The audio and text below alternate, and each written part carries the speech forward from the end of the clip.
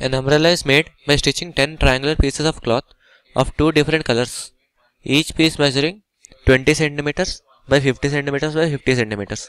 So, uh, each piece of cloth I can consider as a triangle which has sides 50 centimeters, uh, 50 centimeters and 20 centimeters.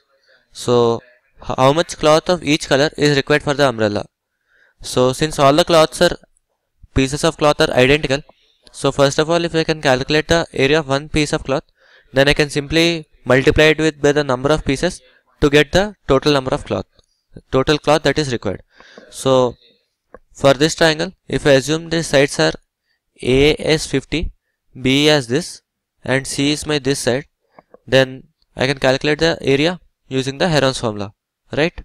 So before that I need to find the semi perimeter which is A plus B plus C by 2 that is equal to 50 plus 50 plus 20 by 2 or 60 centimeters. So if this is the semi perimeter then by Heron's formula uh, area of one piece of cloth is equal to square root over s into s minus a into s minus b into s minus c correct so if I put the values of a b c and s then I'll get it as square root over 60 into 60 minus 50 into 60 minus 50 into 60 minus 20 so this is equal to square root over 60 into 10 into 10 into 40 so here I have 60 I can write it as 6 into 10 and 40 I can write it as 4 into 10 so here I have 10 into 10 into 10 into 10 which is 10 to the power 4 so square root of 10 to the power 4 is 10 square multiplied by uh, square root over 4 is 2 multiplied by square root over 6 there is no it 6 is not a perfect square so it I, it I'll be leaving it like this. So this is equal to 200 root 6 centimeter square. This is the area of uh, one piece of cloth. Correct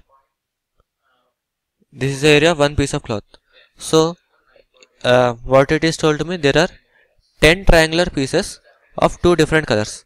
So total there are uh, total is 10 pieces of which there are two different colors. That means that 5 are of one color and 5 are of another color. So the question is how much cloth of each color is required for the umbrella so cloth required of one color is uh, 5 times of this triangle which is 5 into 200 root 6 that is equal to 1000 root 6 centimeter square. This is the area of one color of cloth. Similarly, for the other color of cloth also the area will be 1000 root 6 centimeter square.